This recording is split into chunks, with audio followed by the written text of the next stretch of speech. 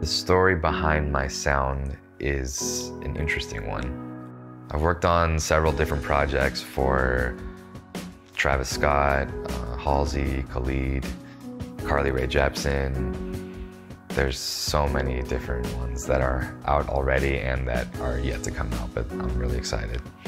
I think what I'm trying to paint when I'm making music is there's kind of like a formula that you start with and when you're making art, you start with the background or whatever it may be first. So I usually start with something that's like people can lock into melodically and then you kind of build from there.